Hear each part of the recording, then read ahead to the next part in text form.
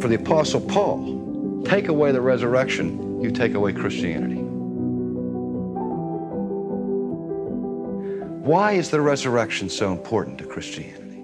Well, let me ask it another way. Is it conceivable, remotely conceivable, that we could have a meaningful Christian faith apart from resurrection? Again, in our day, there are theologians who are arguing that the resurrection as a historical event is not necessary for a meaningful Christian faith.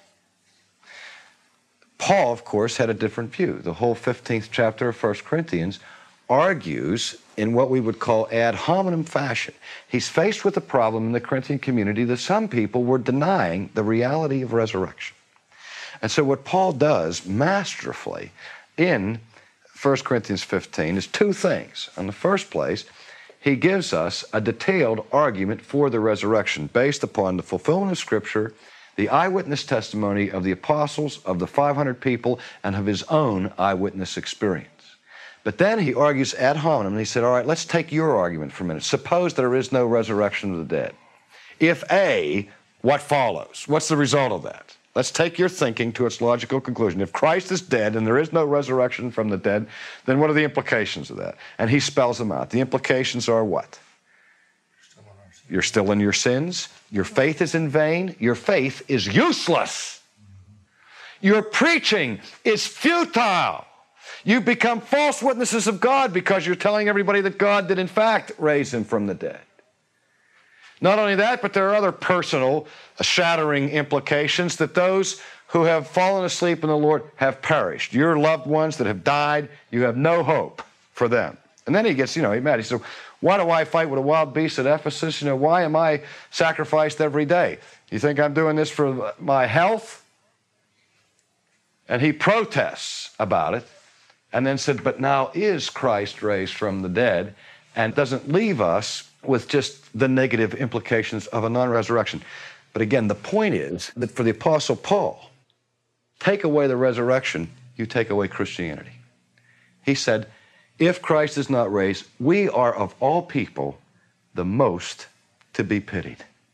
And we might as well embrace the creed of the Epicurean eat, drink, and be merry, for tomorrow we die. But the positive significance is that the greatest enemy of man, that enemy that hangs over every human being like the sword of Damocles every day of our lives, the ultimacy of our own personal death, which threatens everything that we do, everything that we say, everything that we learn with ultimate chaos, with what the existentialist calls the abyss of non being, of annihilation. That enemy is conquered by the resurrection because the resurrection is not seen in the New Testament as an isolated event simply for the benefit of Jesus. But the New Testament declares that his resurrection is as the first fruits of those who have died, so that we are promised that we will participate in the resurrection of Jesus. Welcome back to Narrow Path Doctrine. My name is Jim going to focus this time around on the doctrine of the resurrection. Very important doctrine, of course. The resurrection is central to our hope as believers. It speaks not only of Christ's victory over death, but also of our future bodily resurrection. We're going to break this down into three points here today. The resurrection of Jesus Christ, the first fruits of our resurrection, the resurrection of believers, our future hope, and the implications of the resurrection for our lives today. Now, the foundation of the Christian faith is the bodily resurrection of Jesus Christ. Without this event, our faith would be in vain. Paul tells us in 1 Corinthians 15 14, and if Christ be not risen, then our preaching vain, and your faith is also vain. Jesus' resurrection is significant because it was not merely a spiritual event, but a bodily resurrection, an actual physical rising from the dead. This is critical because it affirms God's intention to redeem the whole person, both body and soul. In 1 Corinthians 15:20, Paul calls Christ the first fruits of those who have died, and now is Christ risen from the dead and become the first fruits of them that slept. The term first fruits refers to the first part of a harvest that signals the promise of more to come. Christ's resurrection is the guarantee of our own future resurrection. Jesus, as Christ, was raised from the dead. We too shall be raised in due time. The resurrection of Christ is not merely a historical event, but also a promise to believers. The same power that raised Christ from the dead will one day raise all those who belong to him. Paul speaks to this hope in 1 Thessalonians 4 16 through 17. This is the rapture of the church before the tribulation. For the Lord himself shall descend from heaven with a shout, with the voice of the archangel, and with the trump of God, and the dead in Christ shall rise first. Then we, which are alive and remain, shall be caught up together with them in the clouds to meet the Lord in the air, and so shall we ever be with the Lord. What a day that will be. This passage emphasizes that those who have died in Christ will rise bodily when he returns in the rapture, that is before the second coming and before the tribulation, and those who are alive will be transformed and taken to be with the Lord forever. Our resurrection is not a disembodied existence, but a physical one, as Jesus' own resurrection was physical. Moreover, in 1 Corinthians 15 42 through 44, Paul describes the nature of our future resurrected bodies. So also is the resurrection of the dead. It is sown in corruption. It is raised in incorruption. It is sown in dishonor. It is raised in glory. It is sown in weakness, it is raised in power. It is sown a natural body, it is raised a spiritual body. Notice the contrast here that Paul makes. Our current bodies are subject to corruption, dishonor, and weakness, but the resurrection, our bodies will be imperishable, glorious, and powerful. Can't wait. the term spiritual body does not mean non physical, but rather a body empowered and sustained by the Holy Spirit, fit for eternity.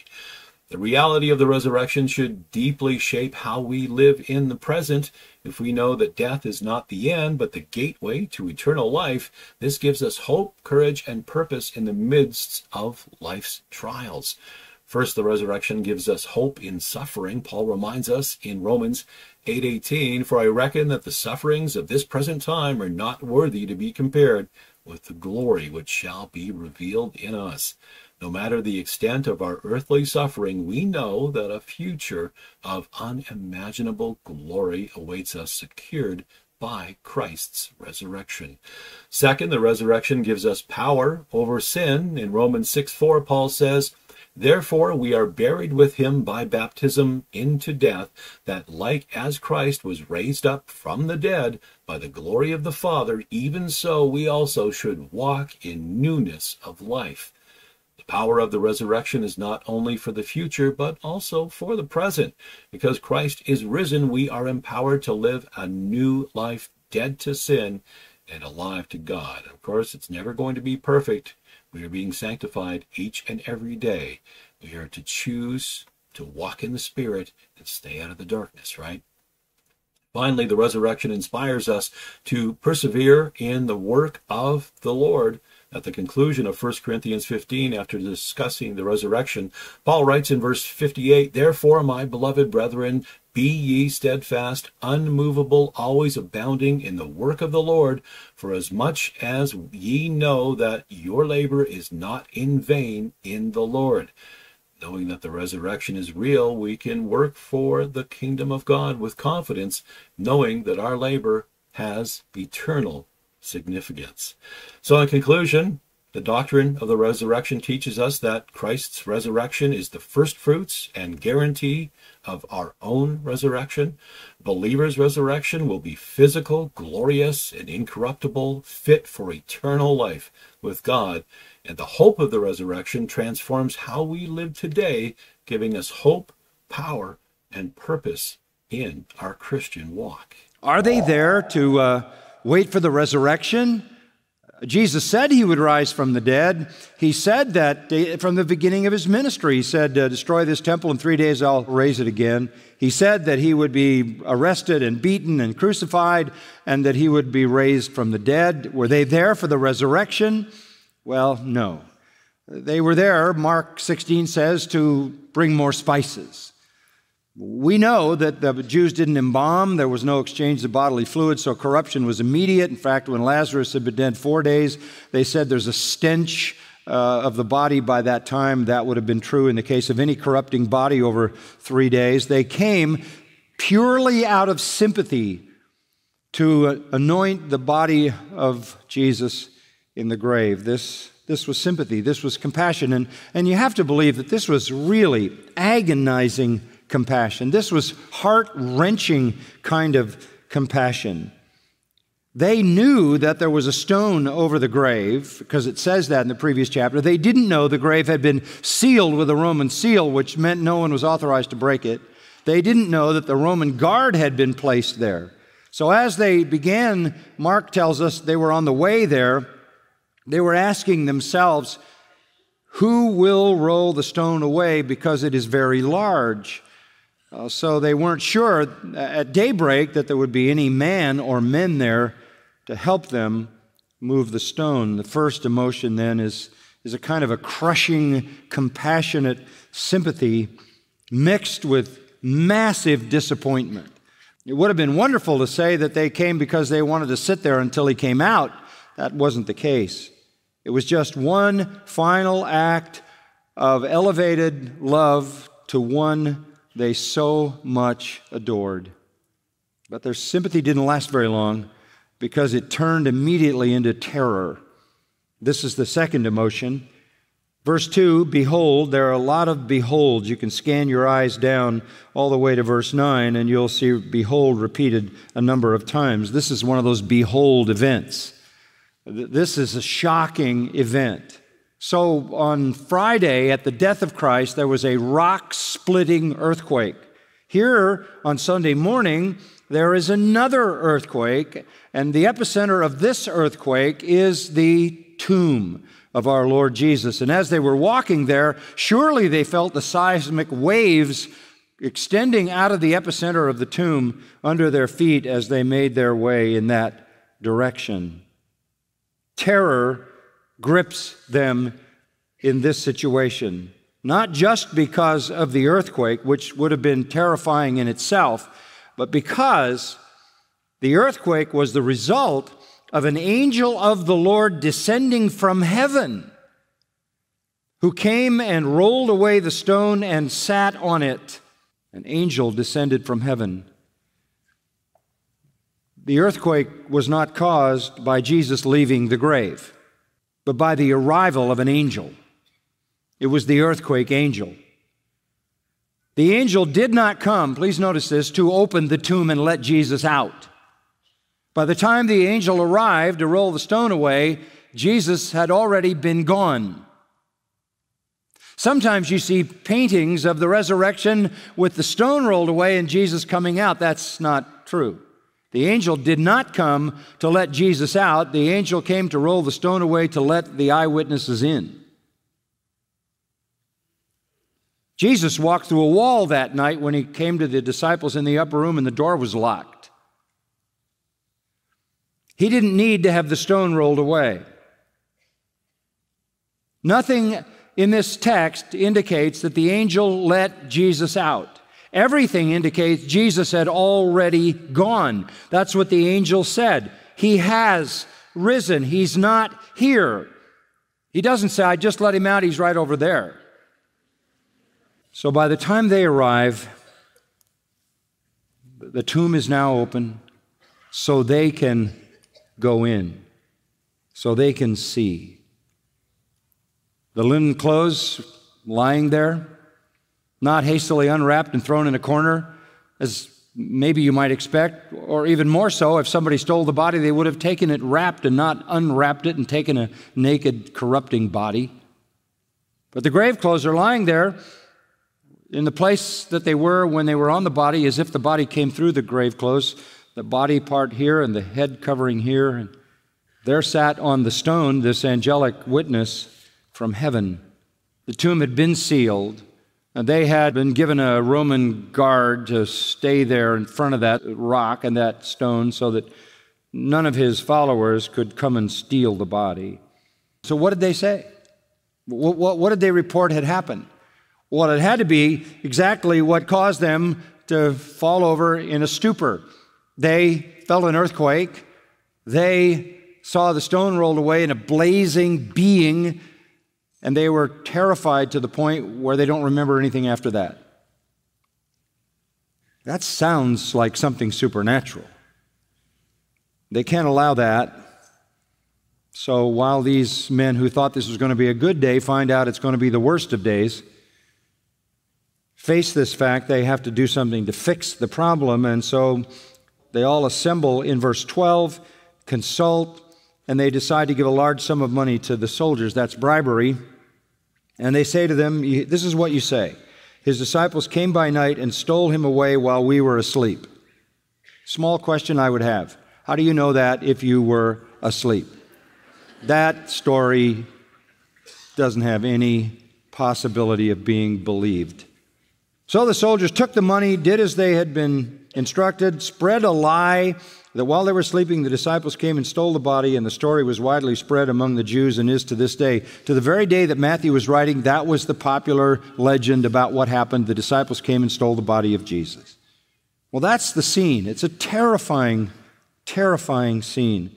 It was terrifying for the soldiers, it was terrifying for the women. They're standing there in terror because in verse 5, the angel says now to the women, the soldiers haven't left yet, they're still in a coma. Don't be afraid, or stop fearing, or fear not. Which indicates that they were afraid, they were terrified. Don't be afraid. For I know that you are looking for Jesus, the angel says, who has been crucified. Just a, a note here one of the women left. That was Mary Magdalene. As soon as she saw the open tomb, I, I think before maybe even the angelic appearance, she bolted. The rest remained. She was on her way back to Peter and John to report that someone had stolen the body. She makes a hasty run back. But the, the rest of the women, they stay and they are given this angelic message stop being afraid. I know you are looking for Jesus who has been crucified. You are looking for him to, um, to anoint his body. You're not going to find his body. You're not going to be able to put spices on his body. He is not dead. He is not here, for he has risen just as he said. Literally, he was raised. He was raised. An aorist passive. He was raised by God the Father, the New Testament says. He was raised by his own power, the New Testament says. He was raised by the Holy Spirit. The New Testament says all three. This is a fully Trinitarian resurrection.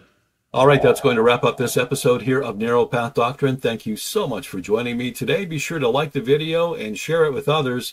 And if you have not subscribed as of yet, what are you waiting for? Click the subscribe button and the notification bell to get updates when new videos like this one come out on the channel. So until next time, remember, true doctrine fuels a living, breathing faith. God bless.